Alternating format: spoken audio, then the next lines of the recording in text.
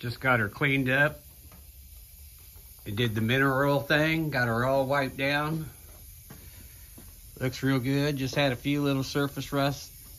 Not even nothing major, it's more on the firebox. Little scuffs on the back here, but put the mineral oil on, food grade. Got a fire going now, just starting it up. You can see the mineral oil smoking off or curing in. We'll see how this looks after it's done. If I don't like the looks, I might do the linseed oil thing and burn it on.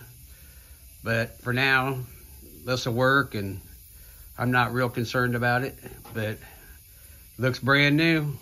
I'm happy. Got the grates all cleaned out, got her all wire wheeled out on the inside, all the gunk. But yeah, the guy just, I think he just didn't have a clean running fire it had a lot of soot in it, so I might do a few mods. I might do the lower the stack mod, and I'm gonna make a I'm gonna make a tuning plate. I got a piece of steel right here. Think about making a diverter plate or whatever, make it go further down, but I'm not concerned about doing that till I get the lower stack mod. Actually, I'm just gonna see how this thing runs today. Bake this in, see how it goes. Thanks for checking it out.